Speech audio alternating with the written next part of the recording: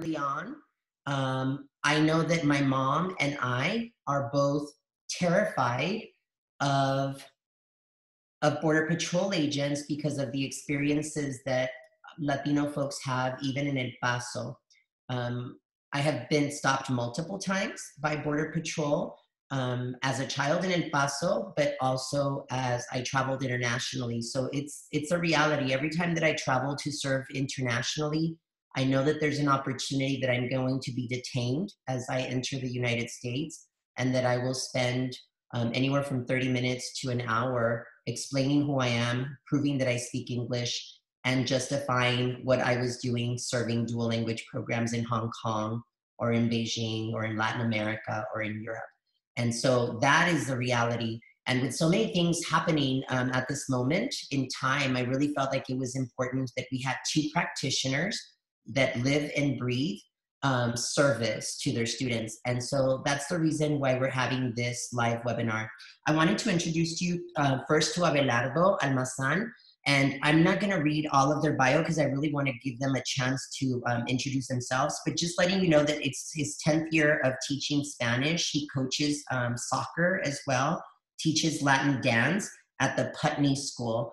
Um, and the way, the way in which I became familiarized with Abelardo's work is that we actually met um, at a NECTFL conference and followed each other on social media. And he's an anti bias, anti racism expert who does what he does in the classroom and overtly um, decolonizes uh, curriculum on a daily basis. And so I'm so excited that we have him here. I also wanted to introduce Gissel I met Gissel actually when I served in the Illinois area um, she is a dual language teacher. She is a DACA recipient, and she is a DACA advocate badass, like badass. And so I will let her share her um, chingonaness, ¿verdad? Because that's exactly what it is. Did y'all notice that I just made up that word? It was really gorgeous. Translate. I love it. Translanguaging, everybody. Translanguaging. I'm mobilizing uh, out of my linguistic repertoire. So we're going to go ahead and get started, and I'm going to go ahead and ask both of my guests to um, share a little bit about themselves. So Gissel, let's go ahead and start with you. Um, would you share a little bit about your background as well as um, your own personal experience and, and the communities that you serve? Claro que sí. Uh, primeramente, mucho gusto a todos. Thank you so much for being here um, in this space. Um, so I am a currently a fourth grade dual language teacher in uh, the district of South uh, Berwyn District 100. Así que shout out to all of my colegas over there. Um, y también este, I've been in the dual language world since uh, we first started implementing, which I believe was somewhere in 2016, algo así. I was one of the first kinder, uh, one of the first dual language teachers to pilot the program when my kids were in kindergarten. And every year, you know, they kept going up the grade levels. Y ahora están, el año pasado estaban in fourth grade, and I got a chance to teach them again. So it was such a beautiful experience to be able to see my kids again in a, in the fourth grade uh, setting. And so I'm currently, ahí es donde estoy. Um, my students are, they fit uh, mainly three, the three linguistic profiles. My students are, um, I have a lot of students that are are, our Latinx Spanish uh, heritage speakers that um, are highly proficient in Spanglish and that can, um, they have a high uh, Spanish uh, receptive language and they have a lot of cultural background. También tengo uh, students, um, I had the privilege of working with uh, four students who had recently arrived from Mexico and they just enriched the classroom experience so much because it just um, i just saw the authentic connections between the students um, that are, are latinx students and the students that had arrived. And then i have also uh, a smaller group of students that are they come from in, uh, english households so they're learning as well um, with my students um, but I I graduated from uh, UIC, and I want to say this because this is DACA related. In 2010, in 2010, I um, I had my bachelor's. I was ready, but because in 2010 we had no DACA, I wasn't able to teach like the rest of my uh, counterparts. Um, so I had to wait, and that was a very that was a turning point, which I can discuss later. Um, and but uh, luckily, I was I had an opportunity to still continue my education, and I was in a master's program um, at UIC. And sure enough, during that time, uh, 2012 comes, DACA is implemented, and it was a turning point, and I was able to then. Um, be hired at Emerson Elementary where I'm at. Very nice. Thank you, Gissel. And um, after we chat with Abelardo, I, I want to touch upon uh, upon DACA, obviously. And so we'll go a little bit into detail with that because it's one of the reasons why we're here. So gracias for that. Mi compa, Abelardo, um, tell us a little bit about yourself, your work, who, who do you serve, cómo causas desmadre, qué onda? Well, first and foremost, uh, muchas gracias, compa. Gracias por la oportunidad y por la plataforma. And it is such an honor to be here, not only sharing uh, my experience, but uh, also to use this as a, an opportunity to keep learning, on learning, and relearning. So, ¿quién soy yo? Un inmigrante, Cuernavaca, Morelos, México. My name is Abelardo Almazán Vázquez. I currently teach uh, Spanish advanced levels at this independent boarding school in the state of Vermont. And that comes as a shock to many people because the question that I get most of the time is, what does a Mexican do in Vermont these days? I'm like, yeah, well, it's a long story, but the best way that I can summarize it, it's the institution where I work uh, has what I need to keep not only disrupting the spaces and disrupting the curriculum and the, the narratives that um, are often really popular among world language teachers. But it uh, allows me to not only create, but to take risks and to ask questions to my students. So it is a boarding school in Vermont. It's called the Putney School, progressive education, located almost in the middle of uh, nowhere in southern Vermont, really beautiful but also a great place for students and faculty to come and to ask very difficult questions these days. That we are not an institution that uh, does standardized testing, for example. We don't do AP Spanish, we don't do any of that, but we are really invested in project based learning. Lots of asking questions, creating critical thinking opportunities and that's why I really like uh, working here. And I'm starting my year 10 here in Vermont. So before Vermont, uh, I arrived to the United States when I was offered an opportunity to study a master's degree in Cleveland. I studied my master's in Latin American studies at Cleveland State University, and I grew up in Mexico my entire like all, all, my high school experiences my undergrad experiences were all in mexico in cuernavaca. So a lot of the things that i've been working on these days are things that i'm learning constantly and how the curriculum changes so rapidly that it is only important for keep extending those invitations to my colleagues to keep questioning to keep disrupting the spaces echando desmadre like you said uh, beautifully in the NECTFL conference, Jose. And I was like, oh my goodness, I've never felt so seen and validated. The, the time that you use the word desmadre, it's like, yeah, we're disrupting. We are disrupting, we are interrupting the spaces because we want to start shifting the conversations in a different direction. So that is a little bit of who I am, and I'm really grateful to be with everyone today. Thank you, Abelardo, and thank you, Gissel.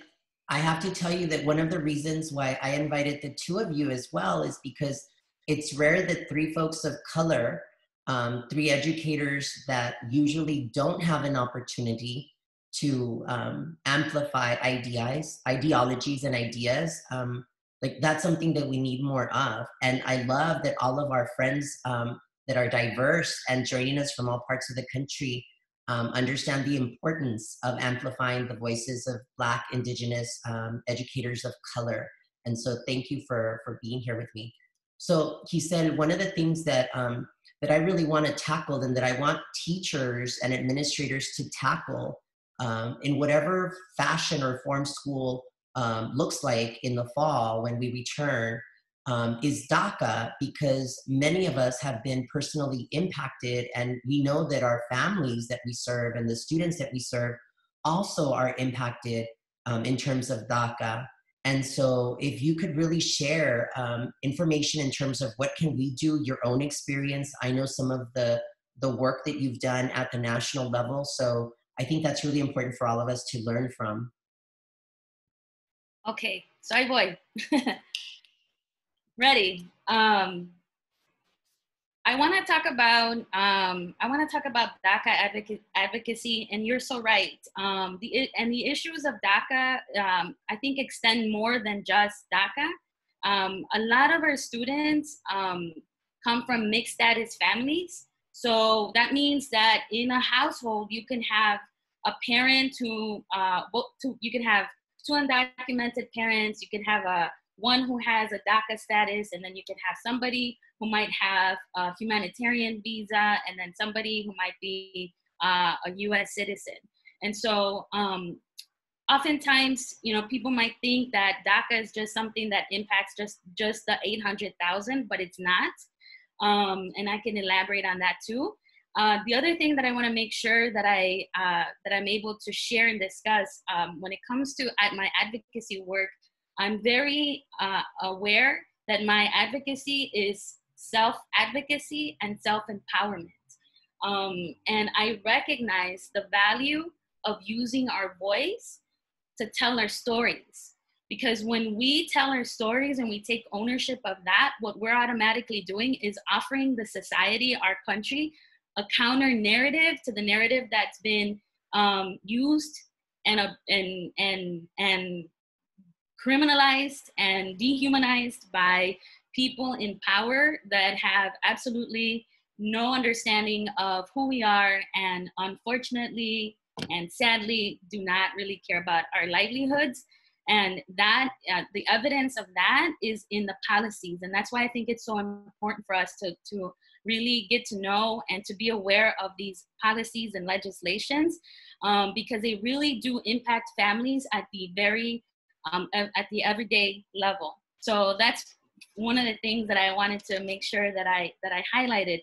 Now, um, I started doing this kind of work and, or gaining consciousness about my um, using my voice as as a political tool when uh, I was inspired in 2010. It was a, a, very important time because during 2010 you started to hear um, undocumented youth, uh, young adults coming out of the shadows, como decíamos, undocumented and unafraid. And I clearly remember this one time when I was in college, uh, I sat in a round table con otros, otros jóvenes como yo. And the, the thing that they said was, my name is, and I am undocumented. And that was the first time that in a, in a public space, you were sharing your story. It was unheard of. So um, I was inspired by a group of students, uh, a young uh, uh, activists from Chicago. They were sharing their stories at the Federal Plaza in Chicago. And I didn't have a chance to go because I was in class. But I also wanted to be a part of that. So what I did was that I wrote a letter. It was basically, it was a letter documenting my experience, documenting what I had to say, and it, when I look back at that letter, it, it, it starts off in 2010 saying, um, at this moment, it was, sorry, the audience también eran my, my colegas who were also teacher candidates. And I was telling them that at this very moment, I had peers risking their lives and risking deportation for something important that they had to say. And then I start sharing my narrative and I start talking about how I came here to the United States when I was three years old and I had a visa. But then when my visa expired, so did my chance to fulfill my professional dream and so forth. Because I wanted people to understand as I went through my narrative, I wanted to, I wanted to highlight the important policies that were um, that were that were in place. For example, I say I was an undocumented child in here in the United States, but nobody knew because there was already a Supreme Court case that was fought at, at the Supreme Court case in uh, se llamaba Plyler versus Doe in 1982, and that allowed undocumented children to have access to free public education. Lo que quiere decir que prior to that, and because of the state laws, this, this happened, this court uh, case happened in, in, in Texas, um, there was a there was there was a law that was passed in Texas in 1975 that basically um, was not going to allow uh, children who didn't have U.S. birth certificate to have public education. They were a burden, and so they were asking families. Districts were asking families to pay a thousand dollars per child for for for public education. So that was a matter that went to the Supreme Court, and at the time they ruled. Um, in favor of, uh, of the undocumented uh, children, not so much because they cared about us, but it was because they cared about uh, el orden de la sociedad, which meant that they were concerned that you were going to have a group of children who were going to be illiterate, and then what are we going to do with the, with them? That's going to be a bigger problem, right? So, um, so I think that that was that, that was that that was important to share in that narrative, and then um, I talk about I kind of uh, at the end because they were my my my teacher colegas candidates. I, I it was a, like a call to action. Um, at the time, I had found out that I wasn't going to be able to ap- apply to become a resident through my mom's petition, um, which meant that I wouldn't be under the current immigration system. I wouldn't be able to teach until like 17 years, algo according to the calculation of the state of, of the uh, immigration attorney. So I said, in that time, I really thought that I wasn't going to be able to teach. And I said, um, but you will.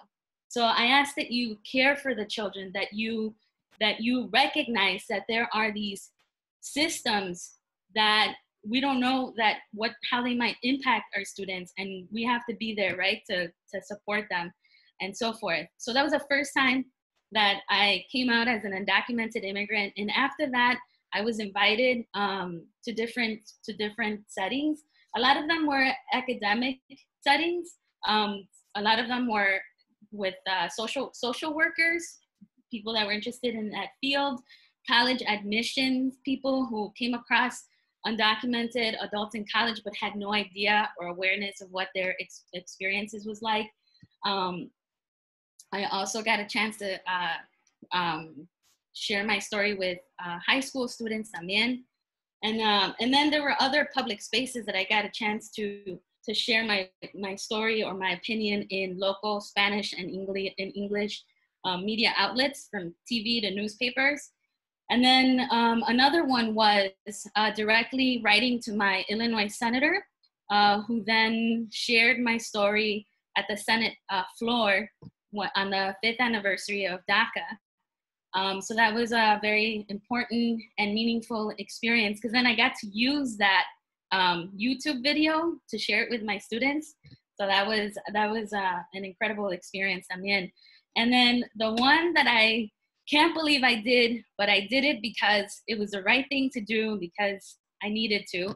Um, September 5th, 2017 was uh, a very devastating day for us because that was the day that the US State Attorney Jeff Sessions announced the termination of DACA. And for those of us that knew this was going to impact our lives, I um, got a chance to uh, work with undocumented DACA activists. And what we did was we set up a press release conference and a rally. So uh, I shared how I was feeling, um, and that was at the at the in, in La Plaza with a bunch of microphones and thousands of people and helicopters and all that. Um, and I was in the news and everything. it was uh, very nerve wracking, but at the same time, very uh, um, empowering and liberating that uh, despite everything that was happening, that you have uh, you have a say and that you're going to defend your rights and that people will know that. So that's been, um, and then I've also been a part of like scholarship committees and things. That was more of the work that I did um, when I was when I was in college. It was um, being involved with scholarship committees um, that would raise funding for undocumented students because they did not, well, we did not um, have access to state funding and scholarships like that. Um, awesome.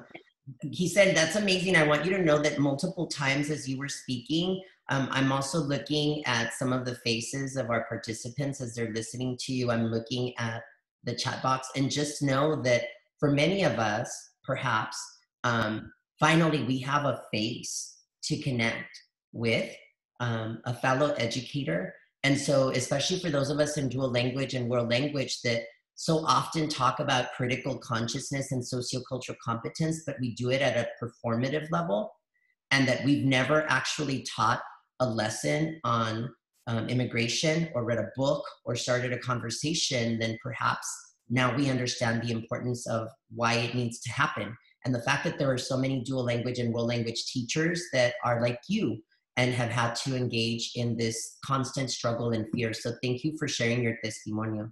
I, I really appreciate it. Abelardo, um, I know that you are an immigrant, as many of us um, uh, and our families are. Um, and I know that that definitely plays a role into the kind of educator that you are. So, might you share a little bit about your testimonio and how that impacts the work that you've been doing in terms of decolonizing curriculum? Claro que sí, José. Um, before I get started, I want to do a an exercise of checking my privilege checking my privilege has been constantly in my mind ever since I uh, became an educator for one big reason. The fact that I'm an immigrant doesn't mean that I should not be constantly checking at those things that are part of my identity, that I'm still benefiting from or taking advantage from. For example, the big one I'm a cisgender male heterosexual. And I have so many privileges within my identity that I can say I have two passports because I also became a US citizen in 2014 here in Vermont. So I'm able to travel, or I don't have to worry about having to pick a restroom at a public space, or I don't have to worry about the parts of my body that are still functioning, or even that I'm tall for the standards of um, many people where I grew up, like that I'm actually tall. So that being said, I think it's a it's a good opportunity for role modeling what it means checking our privileges and starting conversations with our students.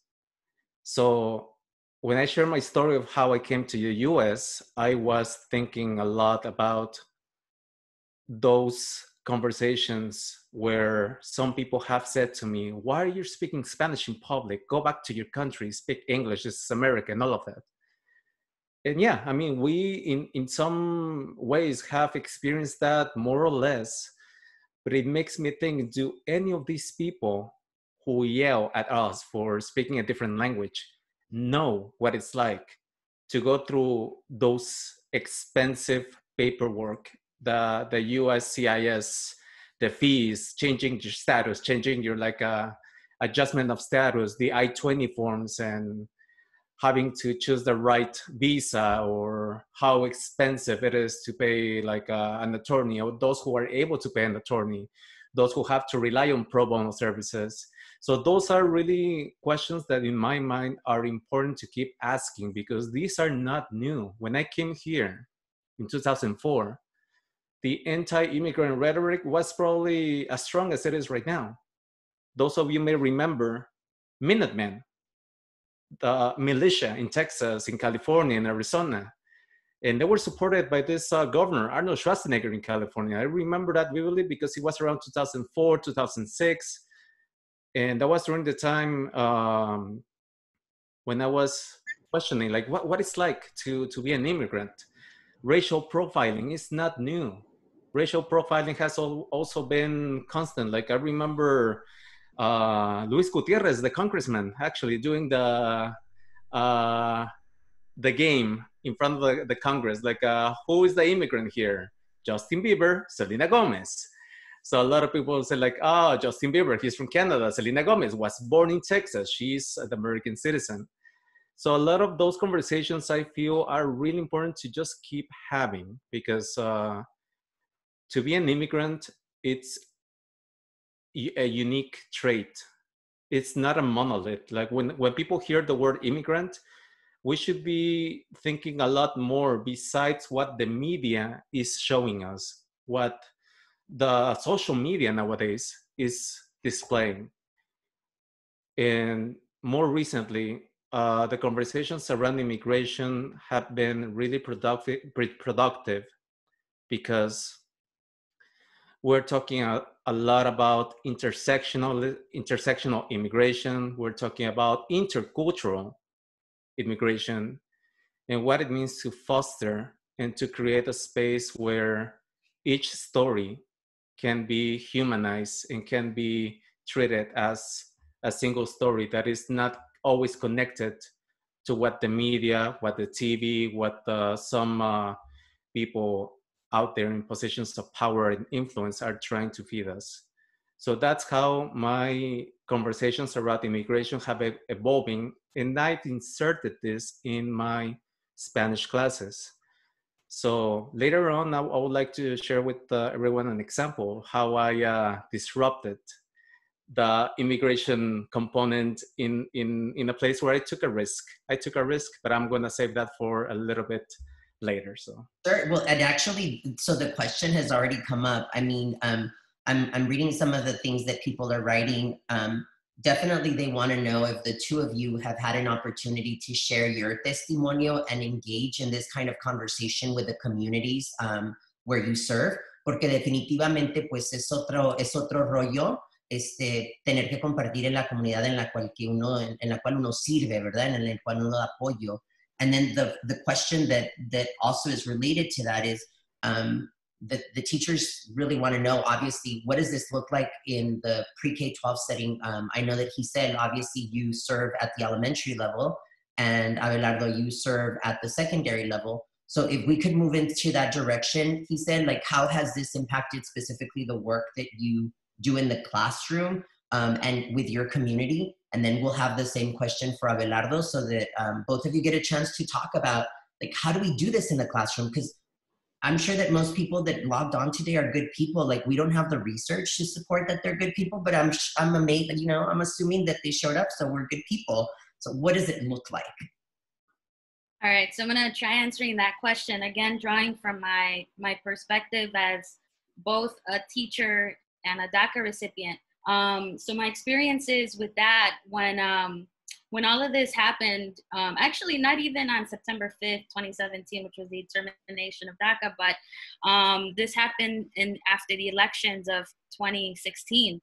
Um, I don't know, maybe folks can relate to, to my experience. Um, el miedo que se tuvo because of we've we were already anticipating what that what the administration had planned. So the agenda was pretty clear since the very beginning, um, what was in mind. And I remember that day going to school and and having to visit my principal's office because I couldn't. I was I no podía. It was a very difficult experience. Um, something that I can say about that was I had a because I had a good relationship with my principal. I feel like she was very um, understanding. Um, and so uh, that just reminds me about the importance of, of, of relationships, building those relationships. But I, think that if I, you know, there's a, this is part of the whole being courageous because because when you're undocumented, you do not have a label that says you're undocumented. You look like everyone else. You have your Miss Escobedo, or you have you have a teacher title. Um, and then when these things happen, you're in a position where you're like, okay, so I have to tell my principal that I might not be able to be here in the classroom. And um, also, I want to mention that um, p- parents, uh, parents, no sé cómo, honestly, maybe, I don't know if maybe one of my colegas shared or something, but I got to tell you that I had one of my parents uh, of my students come to me after class and she said, um, I know, I, I'm so sorry to hear this. I know you're a DACA recipient, and I want you to know that please let me know what we can do to support you. And later on, we were at a at a local like church in a basement, and they were uh, talking, having these conversations about how to support undocumented immigrants in the community. And so I was a part of that because a part of that discussion because they really wanted to know um, how they can support. And so I think those are the moments where it just becomes uh, very real and very important to to engage in those conversations um, with the community and how the families kind of come together to support as well. Um, and then in terms of share how to share this or with my with my students um, in kindergarten i, I gotta say that uh, the, the most uh, meaningful experiences that i had bringing immigration or these kinds of conversations into the classroom was very authentic. In kinder uh, my, ki- my kids were aware at the time our um, our principal is that beatriz maldonado. She uh she was not going to be a principal there so the kids heard and they're like oh yeah mrs maldonado she's going to be the principal. And somebody was like who's going to be the principal? Is it going to be donald trump and then somebody else was like you mean ronald mcdonald no donald who's donald trump and then they were talking about the wall and sabe quién. so then during the morning meeting i remember bringing them and asking them questions like what do you know about the wall what is the wall and and they were like the wall between Mexico and but my tias are over there. Are they gonna build? A, is he gonna build a wall in Ohio because my grandfather is in Ohio? So they were just asking these questions. And um, and i think that uh, i think that again this is why it's important for us as teachers to to build critical consciousness so that we can um, and awareness so that we can respond to the students as they're bringing these conversations especially when they're little. Um, and the other the other thing that i did um, in, in terms of bringing language identity into the classroom was I shared little clippets of like um, when I was with Univision, you know, sharing an opinion or whatever, and it was in Spanish.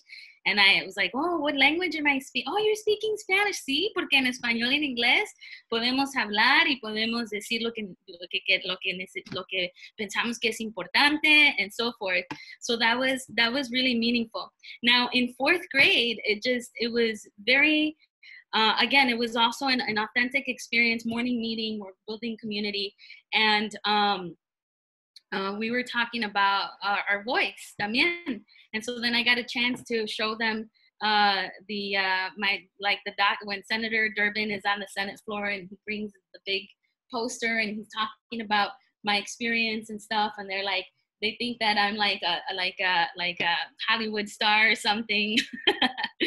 and uh, but the main thing that I told them is your your voice matters and you can do this. And um, the other thing jose i want to i want to share this is during read alouds i shared familia with the kids. And it was just a beautiful uh, experience um, to share this story.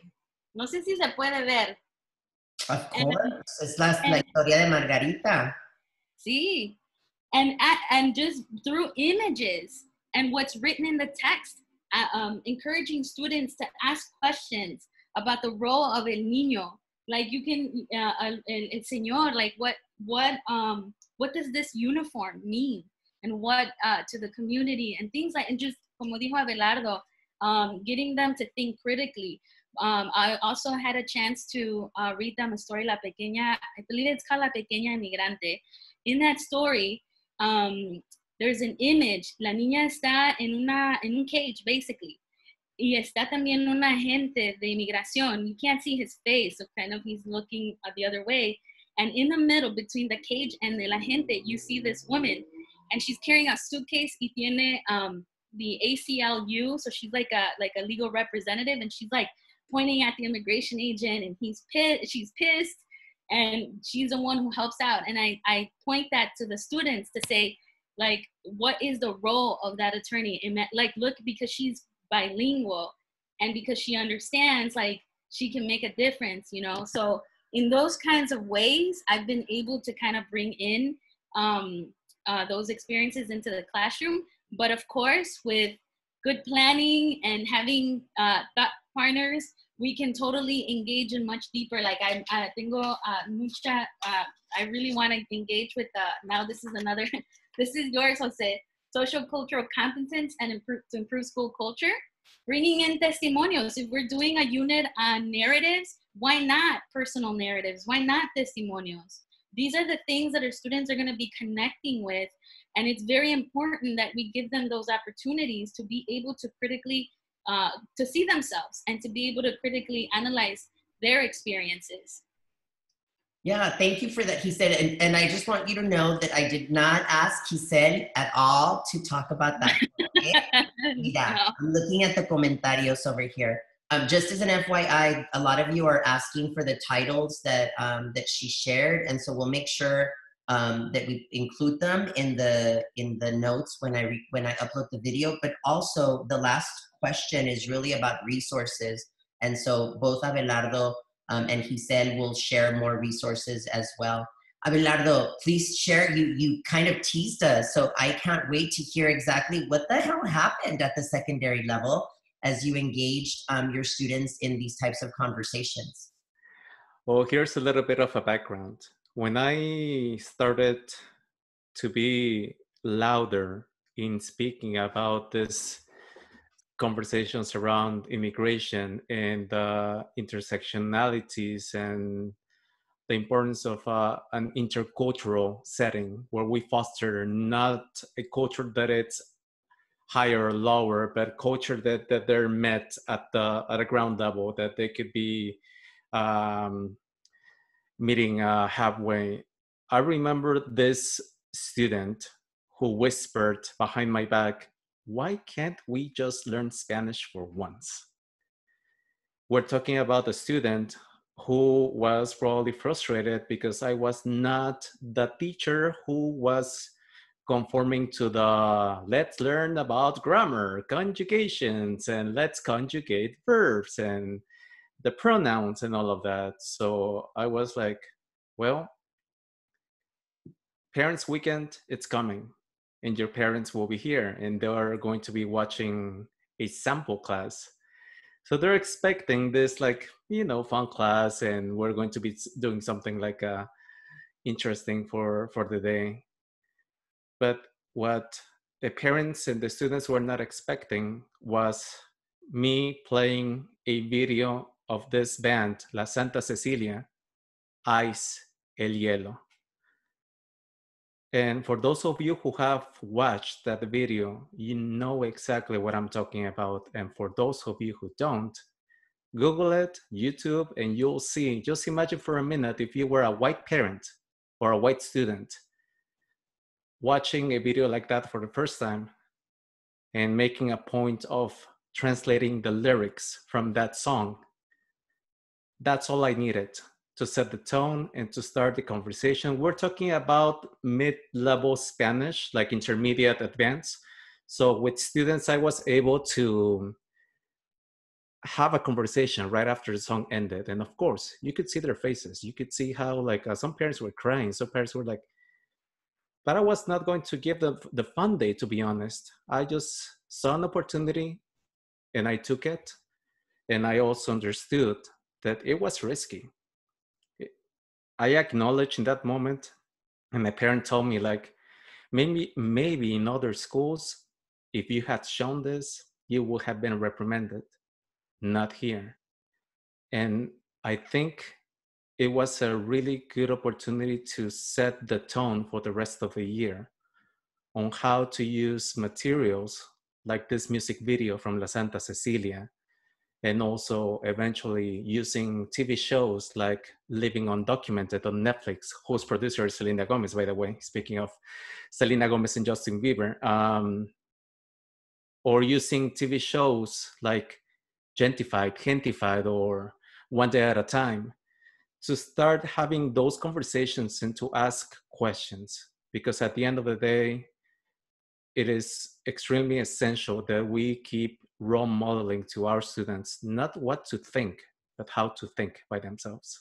So that is the story and i think i need to give a shout out to uh, someone that you know jose really well uh, francois tenu who amiga fran. Amiga fran yeah yeah yeah who she's been also doing this at the early uh, lang the earlier years kinder and uh, at a primary level So a lot of teachers keep telling me like, no, they're too little. They should not be given these materials to talk about this. No, I mean, there are plenty of teachers who are using all these concepts and they're facilitating wonderful uh, classes that go beyond the um, what the teacher would say like it's age appropriate yeah. and another shout out that i wanted to give real quick it's uh, to another colleague uh, dorie conlon perugini who uh, has been an amazing advocate of what it means uh, to teach with uh, intercultural elements and resources these days in the world language classroom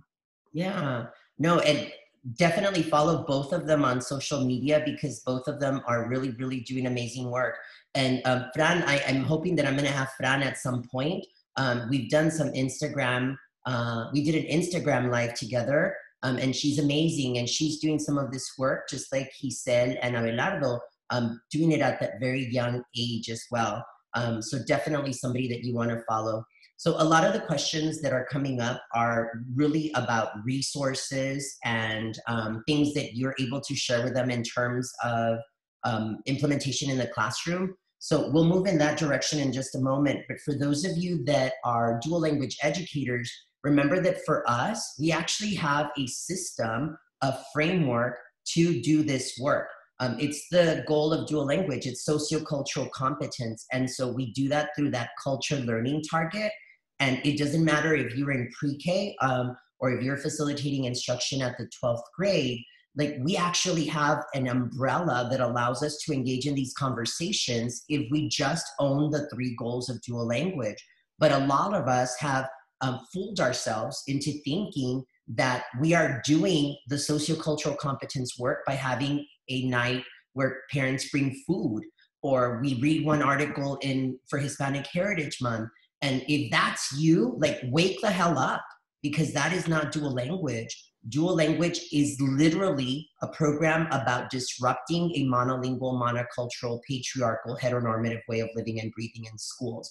And so keeping that in mind is so important. So culture learning targets, gente, las tres metas de un programa dual. And I know that, um, Abelardo, for you and ACTFL, um, ACTFL is actually doing uh, a lot of the same work because I mean they invited me to go cause this madre at NECTFL, um, and I've caused madre at ACTFL before. So it, it, we have the same goals and and we have the tools to really engage in that deep work. Um, so I know that the teachers are like, por favor, recursos, recursos. So um, what are some stories or books or resources or tools any kind of um, support that we can give our teachers um, at the secondary level, but also at the um, at the elementary level, um, to really get us started. And and we'll also share books. I, I put a, a, couple of slides with books as well, so you'll get that as well. We'll start with secondary this time. Um, Abelardo, algún tipo de recurso, algún material. Este, ya habló de los videos, de las canciones, pero tal vez un tipo de herramienta que tal vez para, para apoyar a los estudiantes sea de beneficio? Uh, the first book that comes to my mind is by Dr. Terry Osborn. A uh, really good book about uh, incorporating uh, themes of social justice in world language classroom. I highly recommend that book. Jerusha, you could do me a favor. My friend Jerusha's here. As Abelardo's chatting, would you type it in the chat box? I, am only asking because um, we're best friends. Andale. Abelardo, can you repeat that one more time? I'm all asking for secretarial yeah. assistance over here. I'm so sorry, uh, Ms. Jerusha. Uh, don't have the exact title with me right now, but the author, Terry, Dr. Terry Osborn from University of South Florida, and the title is related to incorporating social justice uh, topics into the world language uh, setting. So that is one book that I uh, really believe uh, will make a good um, start um, someone wrote this in the chat in the chat, and I, I, was going to say that yes, I used that book also recently. Uh, Gloria Anzaldúa, Borderlands, La Frontera. That is probably my favorite book in terms of incorporating uh, inter the intersection of gender, race, uh, gender identity, and uh, what it means uh, to live in the border, what it means, uh, like Facundo Cabral sang beautifully, no soy de aquí ni soy de allá. Sometimes that's how we feel in so many places when we're neither from here nor from there. Those of you who go back to your home countries may be relating to how you don't feel in my case, I don't feel like uh, too Mexican anymore, but I don't feel too American when I come back. And it's real. It's something that it, it is important to uh, to keep validating and honoring in our students, the heritage language students, the dual language students, and those students who are from immigrants' parents, uh, first, second generation, maybe going through that. So Borderland is probably one of the uh, books that I really enjoy um, reading. And finally, Notes of an Undocumented uh, Citizen by Jose Antonio Vargas. I really, really like that book. And don't get um, the idea that just because it's Jose Antonio Vargas, it sounds Latinx because he's Filipino. He's Filipino American, undocumented founder of this wonderful organization called Define American. And you should also Google his um, video on YouTube on how Jose Antonio Vargas uh, shares his story when he found out the first time that he was undocumented. So that that's one of the the books that I really like using, and I hope those help. I I haven't read that last one, Abelardo. So um, I'm gonna make sure that when um, when I go over the recording and upload it and, and everything, that I quickly um, purchase it from Amazon. So gracias, gracias for that. Um, and let's go ahead and go to my friend Gissel so that she could hook us up maybe with some books or resources for the elementary level folks in the space. Well, for elementary, like I said, like uh, La Pequeña Emigrante is a beautiful book. Um, there's uh, I gotta say, Jose, your book was amazing. So I recommend the books uh, written by by by you. Wow. And you know, you, you know, I had to put a picture, of course. there you go. See, and basically, um, I don't have at this moment a list of uh, books, but that's something that you know we can. I can definitely. Los demás si tienen también ideas, but I think the most important thing about about books is to always keep in mind like who the authors are because it matters who writes the stories and through what perspective so definitely that um, and i do want to share another uh, resource but this is for um, people that are interested educators that are interested that might work with undocumented uh, high school uh, students and uh, this is the book lives in limbo written by roberto gonzales um, you can follow Roberto Gonzales on Twitter too, and he's a very well-known um, researcher. Um, he's currently at Harvard University, but um, his work is so extensive and it covers um, the, a lot of the experiences of undocumented youth.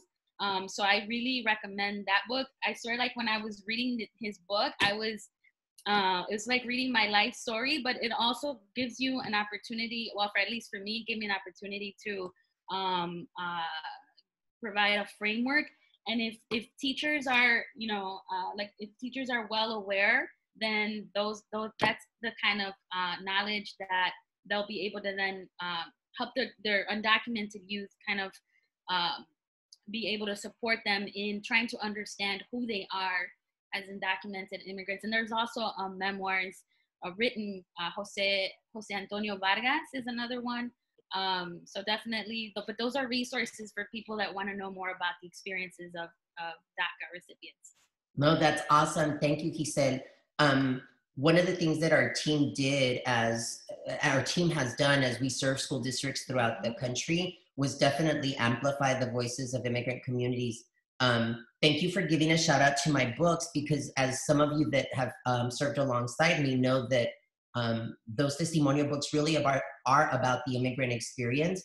I'm excited about the third book because the third book is uh, about the immigrant experience, but through the eyes of an openly queer um, boy who becomes an openly queer principal and teacher.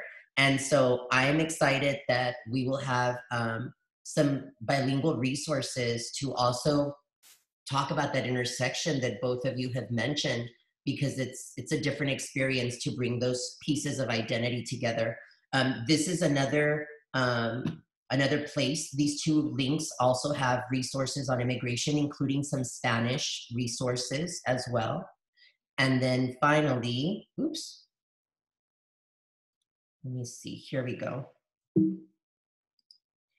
And then this one is another one that one of my one of the members of my team found Um, for those of you that are not following um, Ms. Jerusha Hunt, um, who has been helping entering some of the stuff, she too is a secondary teacher who is using um, testimonial work a lot and using the testimonial framework that is one of the tools that we use in dual language. Um, but she's doing that work with secondary students at the middle school level. So definitely um, follow her as well. Um, uh, before we go, because I know that the teachers want resources and, and that's what we're here to do, but we also want to um, amplify um, issues that need to be amplified. Um, presently, or one of the things that's um, on my mind is um, the Citizens Academy that is scheduled to be piloted in Chicago starting in September, where ICE is asking interested citizens to be trained on how to um, be trained on firearm use, how to detain uh, folks that they might deem as undocumented, which is just um, so scary. So um, I just wanted to close actually with that and, and get your thoughts on this kind of situation that continues to happen um, with this administration. And we, we can start with um, with you, Abelardo, and close off with Gissel, and then we'll thank everyone for being here. But I thought that maybe a, a couple of sentences, just your thoughts each on this evolving story. Um, one thing that I would like to say that is really important is just because it's not happening here or where you, wherever you live, it does not mean that it's not happening. This is something that no matter how remote it could be, or no matter where the bubble where you work or where you live, if you're not speaking and condemning what's happening with this pilot in Chicago by this uh, that this is basically something uh, the continuation of Minutemen or the continuation of uh, racial profiling, the continuation of uh, the Arizona racial profiling law, the Alabama profiling law, like something like that. If you're not saying something, uh, just keep in mind what uh, what it means to be silent in the in the face of oppression. What it means to say nothing when you could be saying something in not only on your social media, but how do you implement this in your upcoming classes, pandemic or not? So I think those are my two cents, and it is important that we keep uh, disrupting the spaces. And I love that you mentioned, obviously, that it goes beyond liking a tweet. It's about how will you tackle this in your classes so that our kids are less of a mess than we are. So I love that. Gissel, you get the last word. What are you thinking and feeling as we um, thank our guests for for coming and hanging out with yeah. the three of us?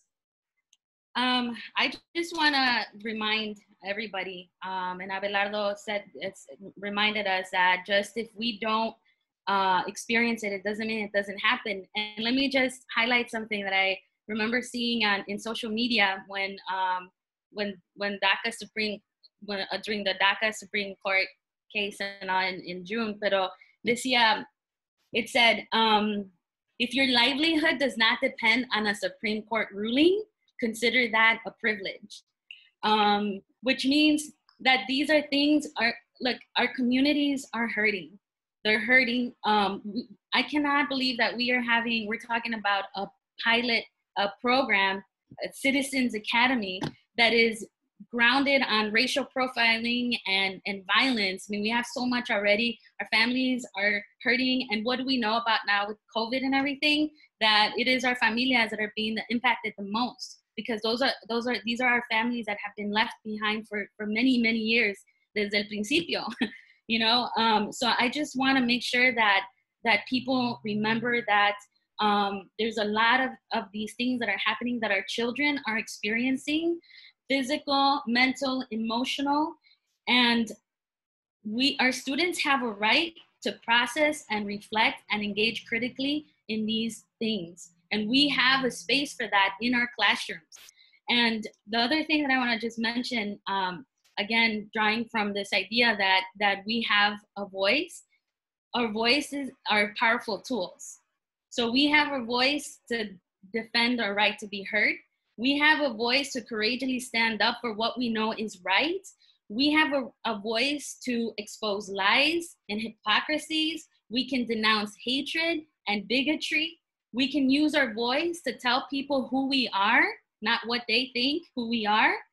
We can use our voice to document everything that's been undocumented. We can use our voice to um, to also find commonal- commonalities with other people's stories and collectively we can uh, build solidarity to strengthen our voices so that we can um, so that we can uh, liberate ourselves from all of those internalized stereotypes and things that are that are impacting us. So we have a lot that we can do with our voice right? And i know through public um, through personal experience that our voice matter. Now if if our voices matter our students have a right to discover their voice. They have a right to develop and strengthen their voice. What we have to remember as teachers is that our educational system was not designed to have our students be heard. So it is our duty and responsibility not to save our kids, not not that, but it is our duty and responsibility to amplify the voices of our students. But to do that, we have to be very intentional um, uh, to deconstruct and provide, uh, create anti-racist teaching and learning environments. And that's why I believe that this should be a priority um, because for those of us that are impacted by these things, this is not something that we can just leave in the bottom of our agendas. This is a need. Um, so that's what I wanted to share. I mean, come on, shut up. Se votó, se aventó. I said it. I just adore the two of you and thank you so much.